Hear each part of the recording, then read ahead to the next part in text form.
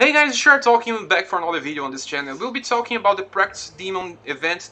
We got this event not many time ago, and before the Valhalla Assault ends, not many people will, be doing this uh, right now bef before the Valhalla Assault ends, but we'll be talking about this uh, anyway. So this event has these two characters here. You see that these two women are strange. Why will be summoning from them? Well, one of them can be gotten from Valhalla Assault events, the other I'm not so sure, probably, but not so sure. And then we have these girls to be summoned with the, the youngest version of them uh, on the banner. You see that it's Leny in uh, Golden Garbed Leny and Hawkeye Bedelia. These two characters can be summoned. They are not that good because they are coming way too late, but they are F-activate Alice Bedelia and let me check if the other one is also run. Leny is also effective. They, they are not that old, but still won't be a match for people like uh, Arbiter Hrist or um, they are from the era of uh, Creation Valkyrie, but not from Arbiter Hrist era, or um, but still not so good compared to them. But but okay, I'm not seeing a lot of people uh, summoning for them because I I'm yet to see a single friend of mine using them as a leader so that's that's it. So they are buffed for this event. You see that this girl here. Uh, first, it's let me check here. Bedelia. Let's click Divine Weapon traits first. So I'll be doing a review on them uh, probably by tomorrow. I don't like to do reviews on the same videos as the guide. So they are, uh, like I said, not that bad, but still not comparable to our recent releases. And then he, uh, the Delia has 200% damage plus on this event and also 25 of the training bow drop. So the first part of the event, this event is a two-parter. The first part will drop the training bow and you can use the two characters to get more drops. The Leny only gets 10 more drops on the training sword. This is strange. Not so sure why this happens. And the damage plus is also halved, only 100% instead of 200%. So the best girl here is Bedelia, and Bedelia also brings her uh, uh, signature weapon, I could say. The Hawkeye bow is a fire type of Hawk uh, of bow, not the first, probably the fourth we are getting, and this one deals uh, extreme damage. So extreme damage is still our highest so far, and also deals increased fire damage. This is the first weapon with uh, increased fire damage with an extreme uh, as base. So You'll be doing more damage with your action skills than all others. This will be the highest so far. Uh, and also you'll be doing more attack with normal attacks because they you, you will be dealing more fire damage. Converting to fire, dealing more damage with fire. So this is actually our highest damage weapon so far. I don't so sure well, about the, the value for the flame auto increase, but that's it. But you still have to remember that bow users are not so good on this game and this is why the damage won't be that high as well.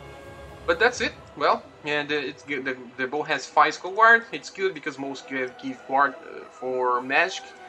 And this bow is used for the second part of event to give 25 more drops and also 200 damage plus. So using this girl here, Bedelia, with the bow you get 400 damage plus, just like with Arbiter Hrist event and her Albitora weapon. So this will make a very very easy farming and you can summon multiple weapons of this Hawkeye and then fuse it together when the event ends.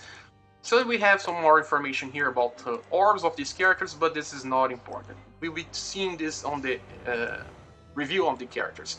So now let's just give a look on the notice so we can talk about everything that they are sending to us to this event and we have here the notice called Event Practice Demon. We have the young versions on this image here. And they would uh, talking here that um, we have some titles to get. And there's also another character that has plus damage and it's Abel. Abel is, is also on the banner. You can summon for Abel. Another thing that I forgot to talk about is that this Divine Weapon Summon does not uh, have other artifacts besides the three artifacts that we're seeing and Abel is included. We can only summon these three artifacts with this banner, so that's why I'll see that not many people will be summoning unless they want these weapons. You can also get the Avenger's Word from uh, the Revenge of the Sinner event and Dragonian Halberd as well. Lakes as well, you Shambhala, this, these are from past uh, events, they are not that old. and people that uh, didn't got these weapons to finish action skill level 5 can still get in from here. But we're not seeing the Spear Word Mistil 10 here. Uh, don't know why, some weapons will not appear, but that Graciado is here. Strange, huh? Even Guiher is here. So, because the, actually there is a reason, because Guiher and that Graciado in Japan were not so um, what could I say, they were released earlier on the lifespan of the game, so they kind of changed some stuff for these weapons for global version, so that's why they have different volleys and different buffs as well. Okay, so, so that's it, and you can summon Abel. Abel is not bad, it's even being a first generation character, he still hold up against some enemies. The problem is just that people is way way stronger than any other uh, dark element user till we can get some very, very uh, future characters in the game. So that's it, we can get these three characters only, just remember that. Let's get back to the notice so we can talk more. On the notice we can check what we can get from this event. Okay, so this is only the, the titles, I don't care about titles, then we talk about the items from the first part, we can we can get the Key of Guidance, it's becoming way more important now, because for veterans at least, we have one Yggdrasil branch, legendary Rainbow Stone, always important, and then we have this word called Blitz Schlang. This Blitz Schlang here is very important because, well, this is a lightning type word. We had some in the past, we had um, uh, Desperate. This is, was from the Hestia event. We had Dainsleif, but Dainsleif is very, very old on the started the game with that. And then we had um, the Dead Graciado that we just got released with Valhalla Assault. But we didn't had uh, in the past some damage besides the Dainsleif. So this one is damage and it's very heavy damage.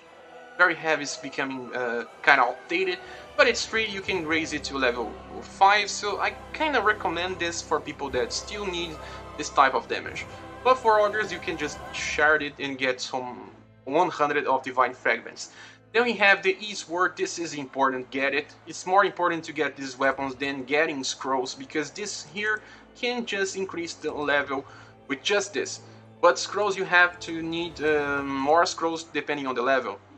So we can get more bronze scrolls. Bronze scrolls are in-game type of thing. If you're not a veteran and you're not close to, to any type of game, you can skip it if you don't, uh, if you can farm everything. And then we have our more fossils. These things are to limit break the 5-star weapons. This 6-star Orb of Sparks, it's very important to get all orbs from shops because they kinda have different type of skills. I don't know what this has, but just get it, okay? You can skip the Divine Weapons to hit gold, but get the Nameless Hero number 5. Then we have the second part. The second part has more interesting items because it starts with the Yggdrasil branch. We also get the new Rainbow Stone and this Scorpio Sword. I don't know the, the element about this. They, don't. We can check it now. Then we have the Bronze Scroll. You can get it if you're a veteran, if you're planning to farm the whole event. And this one has the Awakening Ember. The, the first part of the event only has Awakening Ember by clearing on stage, but it doesn't have from the shop. Oops. And then we have the Mark III things. And the Mark III things are becoming more important because we're getting a lot of it and now we can really increase our um, best weapons with Mark III because Mark III is the last step. Even in Japan they don't have Mark IV. So you can invest on this safely.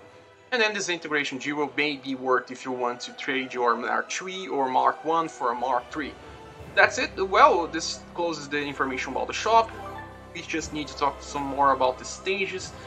And well, we have a first stage that we can experience a new character, and this new character is the Hawkeye Bedelia. Bedelia, it's very interesting uh, actually. She's like people, she kinda uh, acts like close combat Mm, and just the last hit of her attack is is using a bow. She kind of launches punches and kicks. It's, it's very funny to watch. And I do think that she's very fun to play. Sadly, she's not that strong.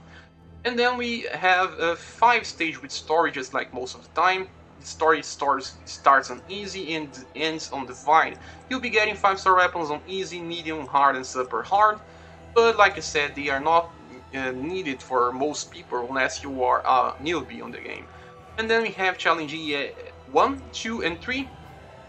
These challenge stages you have to face uh, beasts, and these beasts have the elements of the weapons that you get from the, the four stages of the story part. These are 5 star weapon and you deal increase in damage to these beasts, but like I said, you'll be wasting way too much currency to just upgrade these weapons.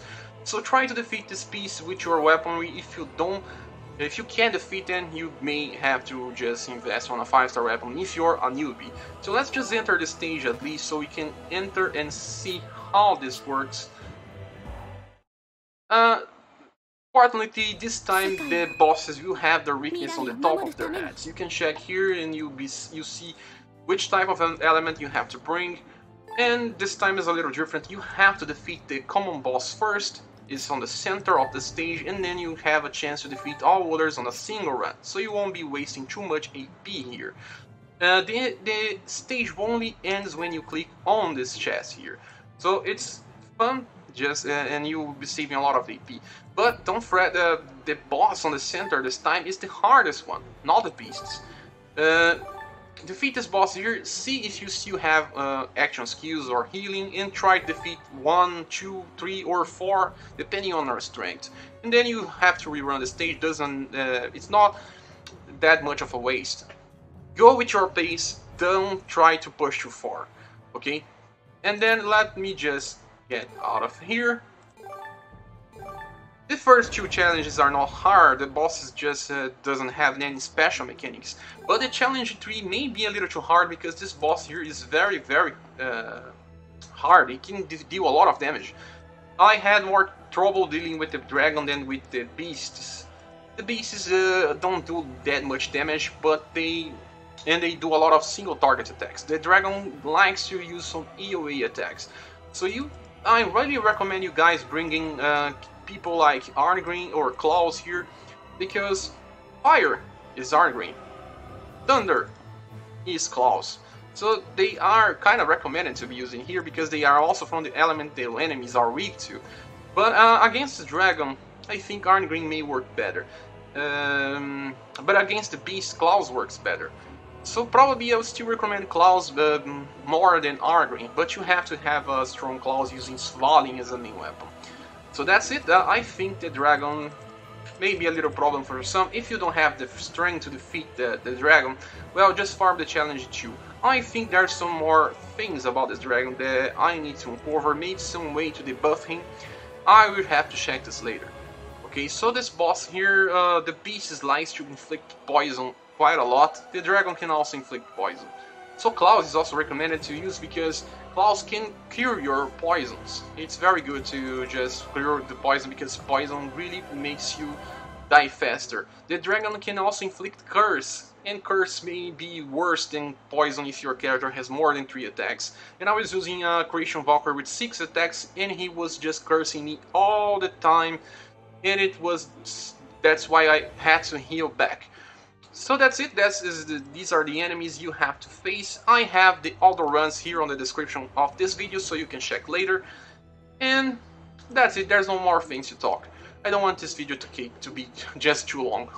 That's it guys, thanks for watching the video so far, please subscribe if you haven't, and we will see each other on the next video. Bye.